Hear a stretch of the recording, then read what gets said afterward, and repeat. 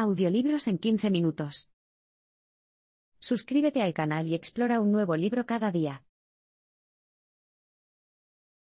Pete Exet quiere compartir las historias no contadas de los veteranos del ejército estadounidense. Conozca a Pete Exet, un ex soldado del ejército estadounidense. Tuvo tres despliegues, en la bahía de Guantánamo, Afganistán e Irak. Obtuvo dos estrellas de bronce y una insignia de soldado de infantería de combate por su servicio.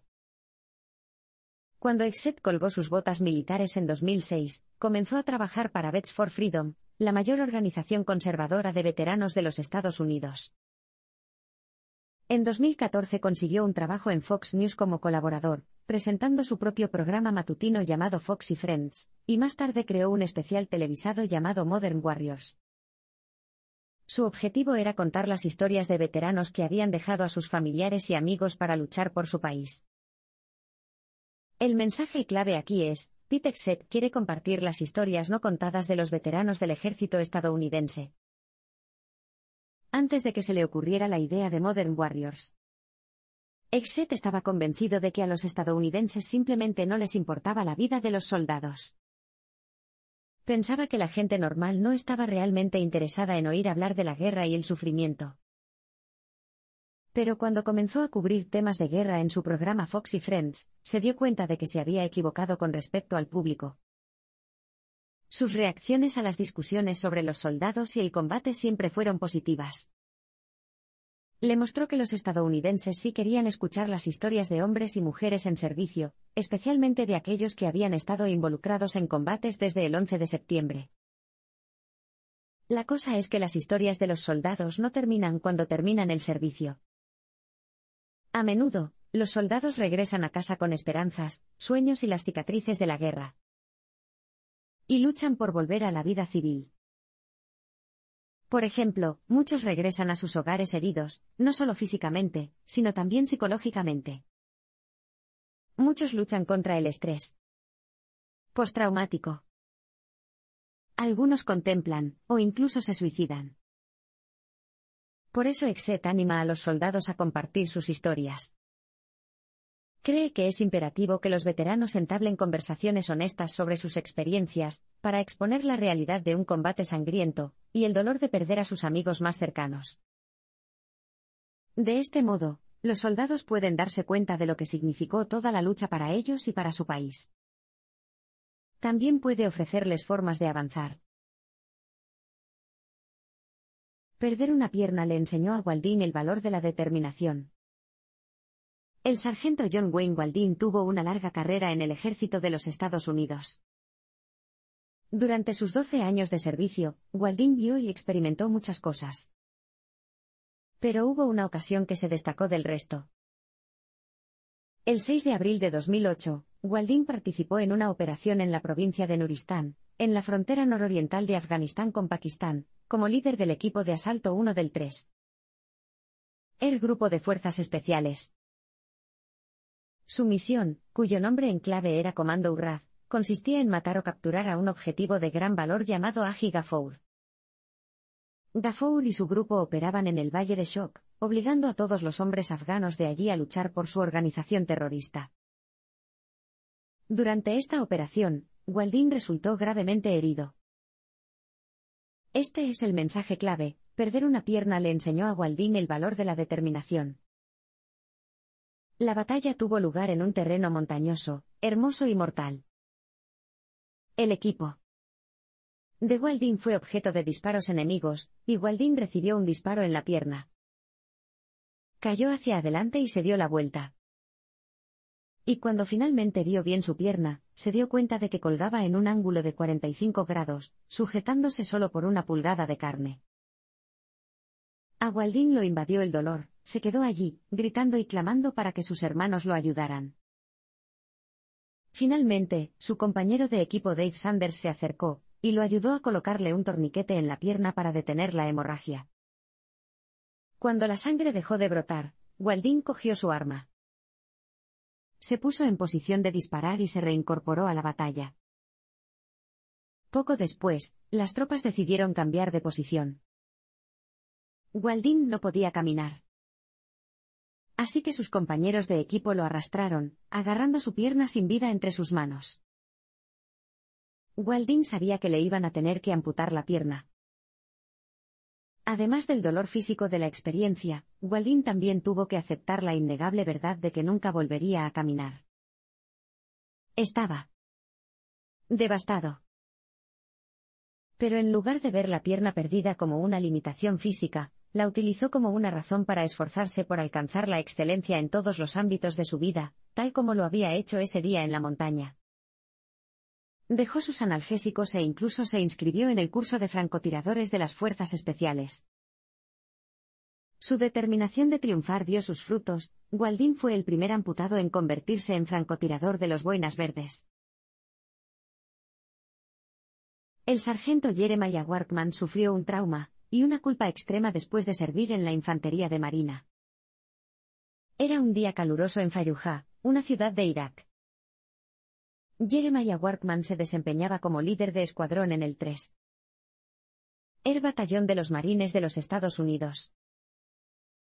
Recuerda que su pelotón intercambió disparos con el enemigo durante horas.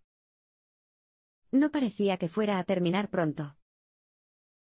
Workman y sus marines lucharon duramente ese día, por amor a sus compañeros soldados y por su país. Muchos resultaron gravemente heridos y tres personas murieron. Estas fueron pérdidas que Workman encontró difíciles de procesar. ¿Por qué había sobrevivido y tantos otros no? Este es el mensaje clave. El sargento Jeremiah Workman sufrió un trauma, y una culpa extrema después de servir en la infantería de marina.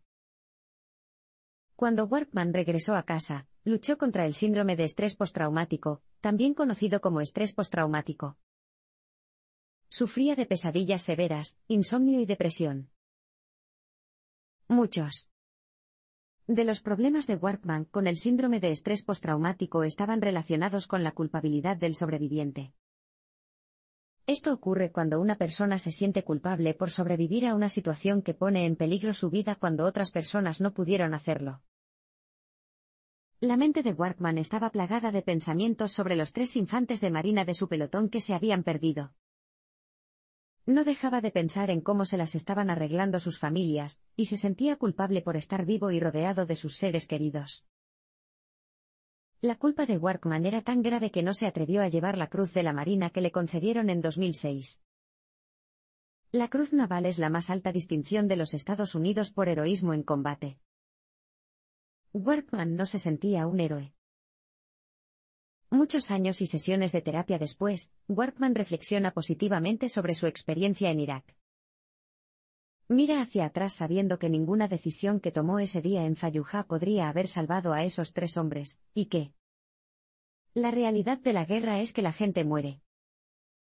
A veces, no hay nada que puedas hacer para detenerlo. Workman todavía tiene problemas con el pesetas, pero ahora sabe que no está solo, 8 de cada 100 veteranos sufren de síndrome de estrés postraumático. 22 mueren cada día por suicidio. Estos hechos impulsaron a Workman a ayudar a otros veteranos a sobrellevar su trauma. En la actualidad, trabaja como coordinador de servicios militares para la Administración de Veteranos en una clínica de salud naval. Él educa a los veteranos sobre qué es el pesetas y cómo pueden obtener ayuda. Workman quiere que los veteranos sepan que no importa lo oscuro que se ponga, siempre habrá gente ahí para escucharlos y guiarlos. Y se siente empoderado al saber que es uno de ellos. El servicio militar le enseñó al sargento Matt Best las recompensas y los sacrificios del liderazgo. Matt Best se unió al ejército a los 17 años, con el objetivo de convertirse en guardabosques. En ese momento, Best tenía una idea romántica de lo que era estar en el ejército. Pensaba que la guerra, el combate y servir a su país estaban bien. Best se unió al 2. Indicador ordinal masculino batallón de guardabosques y, a los 19 años, fue enviado a Irak. En este momento de su carrera, Best nunca había visto ningún combate real. Pero eso estaba a punto de cambiar. En Irak, Best vio a su tutor y héroe, el sargento Dale G. Brem, ser abatido a tiros por el fuego enemigo. Brem murió más tarde, junto con el líder del escuadrón, el sargento Ricardo Barraza. Ver esto suceder dejó una impresión indeleble en Best. No solo le hizo darse cuenta de la sangrienta realidad de la guerra, sino que también le enseñó lo que significa ser un líder.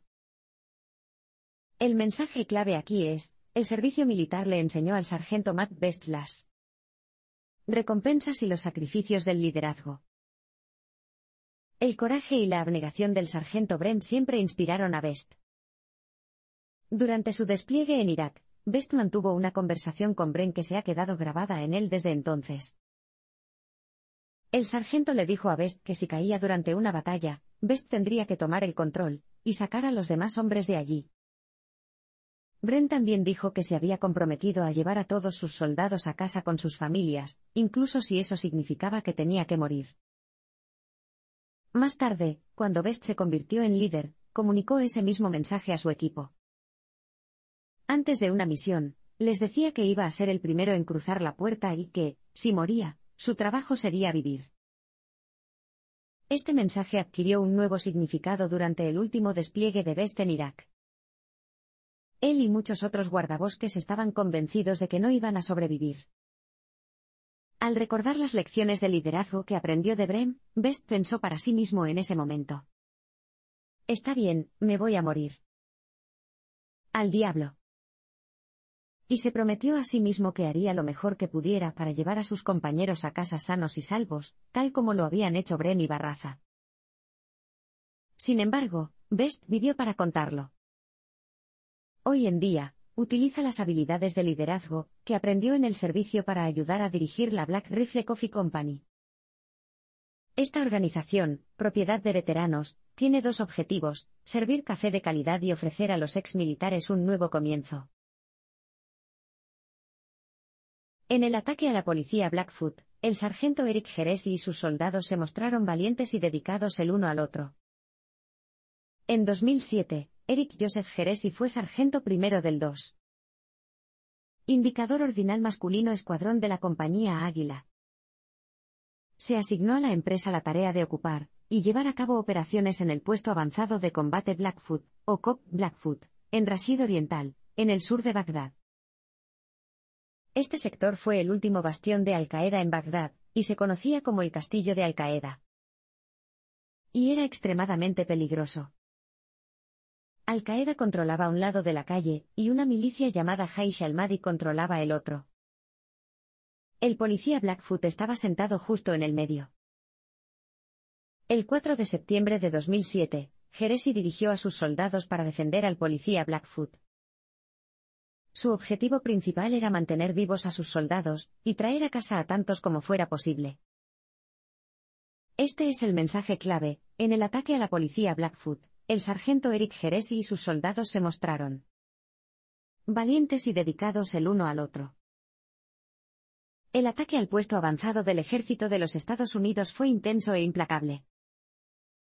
El enemigo disparó contra la COP con morteros, ametralladoras, fusiles de francotirador y granadas propulsadas por cohetes. Jeresi incluso vio al especialista Ryan Holly recibir un disparo en el hombro de un francotirador. La bala atravesó su cuerpo, entre las placas de su chaleco antibalas, y salió por su espalda. Sin embargo, después de una dura batalla de un día, Jeresi y su equipo salieron victoriosos. La compañía Eagle se había enfrentado a entre 200 y 250 combatientes enemigos, y había conseguido cierta paz en el sector. Lo que más enorgullecía a Jeresi eran los silenciosos actos de heroísmo de sus soldados en Irak. He aquí solo un ejemplo. Tras la batalla del 4 de septiembre, la compañía Águila cambió de enfoque. En lugar de defender a la COP, ahora se les encomendó la tarea de limpiar las casas de la zona cercana. Esto significaba ir de casa. En casa comprobando si había algún enemigo al acecho o algún artefacto explosivo. Durante una de las operaciones de limpieza de la casa, el sargento mayor Derry Card fue arrojado a la calle por una bomba, la metralla le cubrió las piernas, y el trasero y perdió temporalmente la audición. Unos días más tarde, mientras Card se recuperaba, la compañía Eagle se enzarzó en un tiroteo en Cop. Card seguía herido, pero no podía quedarse de brazos cruzados y observar. Se dirigió a la batalla, vestido con su chaleco antibalas y su casco, pero sin botas. Tenía los pies tan hinchados que tuvo que usar chanclas en su lugar. Card no podía simplemente ver a sus compañeros pelear sin querer ayudarlos. Para el sargento Jeresi, esta acción desinteresada resume la increíble valentía de los miembros de Eagle Company y su devoción mutua. La teniente comandante Caroline Johnson tuvo problemas con el entorno masculino de los militares. Caroline Johnson tenía mucho trabajo por delante cuando fue a la Academia Naval. De su clase de 1. 200 guardiamarinas, solo el 14% eran mujeres. Y se le dio mucho valor a la masculinidad. Y a pesar de ser atlético y académico, Johnson fue socavado continuamente por estudiantes y profesores varones. Una vez, levantó la mano en clase y le preguntó a la maestra qué podía hacer si no quería estudiar ingeniería. Se volvió hacia ella y le dijo, ¿qué quieres hacer? ¿Hacer muñecas Barbie? Este es el mensaje clave. La teniente comandante Caroline Johnson tuvo problemas con el entorno masculino del ejército. Johnson sentía que nunca la tomaban en serio en la academia. Sin embargo, continuó con su carrera en la Marina. Decidió que quería ser piloto de primera línea, y se esforzó mucho para obtener todos los requisitos. Sin embargo, a pesar de sus esfuerzos, Johnson fue nombrada oficial de vuelo naval, UNFO, que estaba sentada en el asiento trasero, con poco control sobre la aeronave. Tenía el corazón roto. Pero no dejó que esto arruinara su carrera. Finalmente, Johnson aceptó su puesto de enfo, y trabajó arduamente para sobresalir en su entrenamiento. Terminó entre las mejores de su clase, ganando el premio Paul F. Lawrence como la mejor graduada en cazas de ataque. Más adelante en su carrera, Johnson realizó 42 misiones de combate contra las fuerzas del ISIS y los talibanes en Irak, Siria y Afganistán. Acumuló más de 900 horas de vuelo en el F-A-18F, un avión conocido como Super Hornet. Una misión en particular que destaca para Johnson fue en el noroeste de Irak en 2014. Ella y su equipo habían estado realizando operaciones en las cercanías del monte Sinjar durante los últimos 55 días. Pero no estaban autorizados a usar fuerza letal. Lo único en lo que Johnson podía pensar era en los combatientes del ISIS que estaban en el suelo, estaban lanzando granadas contra una aldea yazidí.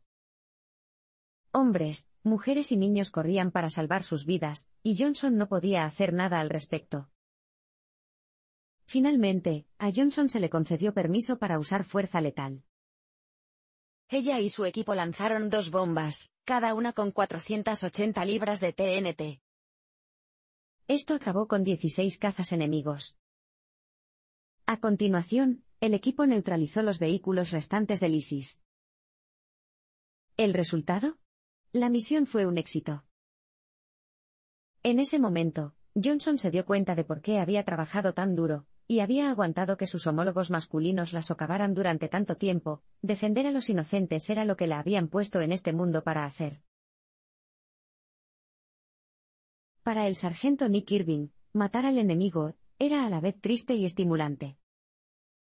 Nick Irving siempre quiso unirse a los equipos marítimos, aéreos y terrestres de la Marina, también conocidos como Navy SEALs. De niño, había visto repetidamente la película Navy SEALs, protagonizada por Charlie Sheen, y soñaba con el día en que pudiera convertirse en uno de ellos. Sin embargo, Irving se vio obligado más tarde a renunciar a su sueño. Durante un examen físico previo a la inducción para los Navy SEALs, no pasó una prueba de daltonismo.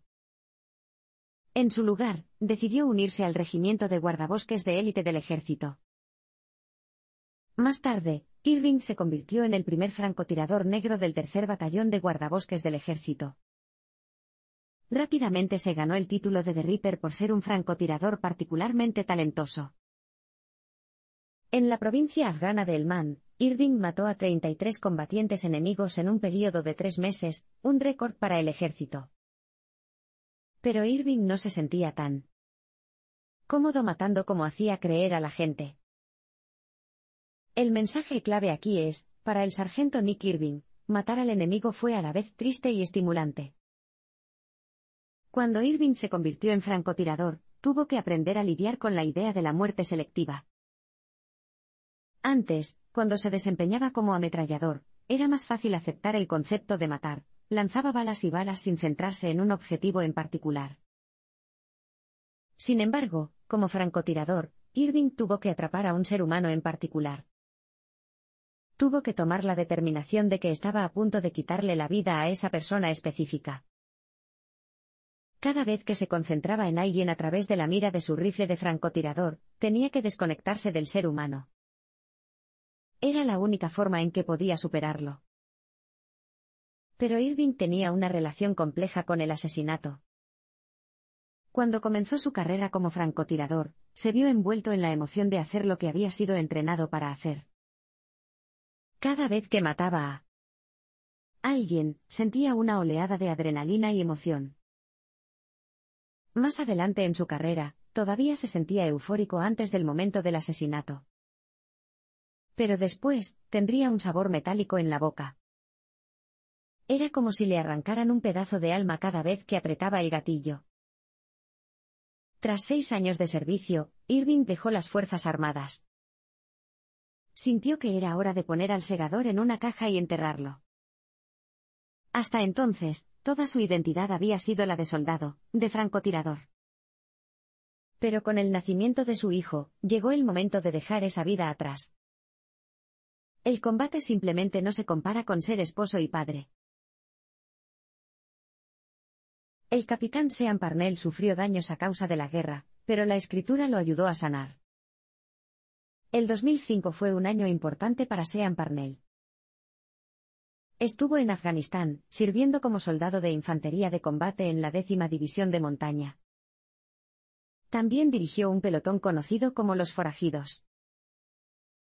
Parnell y su pelotón sabían que esta parte de su servicio sería difícil. Pero no esperaban el nivel de resistencia enemiga al que finalmente se enfrentaron a lo largo de la frontera entre Afganistán y Pakistán. Durante un periodo de 485 días, el equipo fue objeto de más de 4.000 ataques con fuego indirecto en su base. Y cada día que abandonaban la base, se enfrentaban a fuego directo con el enemigo. En el día 485, su tasa de bajas se situó en el 85%. Y el propio Parnell resultó gravemente herido. Este es el mensaje clave, el capitán Sean Parnell sufrió daños a causa de la guerra, pero escribirlo ayudó a curarse. Sean resultó herido en combate el 10 de junio de 2006. Cuando su pelotón estuvo a punto de ser invadido por el fuego enemigo. Quedó inconsciente y lo hirieron dos veces más. A pesar de ello, Sean volvió a levantarse para liderar a sus hombres y el pelotón fue puesto a salvo. Uno de los soldados de Parnell comentó más tarde que Sean Parnell nos salvó a todos. Tras la batalla, Sean siguió sufriendo heridas en la cabeza no tratadas, mientras aún estaba en el campo de batalla. Durante semanas después, el líquido cefalorraquídeo se filtró de sus oídos y nariz. Pero siguió realizando misiones con sus hombres. Su dedicación fue admirable, pero tuvo un costo personal. Cuando regresó del despliegue en Afganistán, tuvo que recibir el alta médica del ejército. A Parnell le resultó difícil volver a la vida civil. A pesar de que tenía a su familia y a sus viejos amigos a su alrededor, no podía conectarse con ellos como lo había hecho antes. Parnell sentía que había visto y experimentado demasiado, y que nadie más podía entender lo que había vivido. Así que cerró y se negó a contar su historia. Sin embargo, su perspectiva cambió cuando comenzó a escribir Outlaw Platoon, un libro sobre su viaje como soldado que ahora es un bestseller del New York Times. Una vez que comenzó a escribir, se dio cuenta de lo terapéutico que era poner su historia en palabras. Era como si se estuviera quitando la guerra y poniéndola ahí mismo en la página. Contar sus historias a oyentes dispuestos a escuchar ayuda a los veteranos a entender sus experiencias. Para Parnell, le permitió volver a casa por completo, adaptarse a su nueva vida y abrazar su futuro.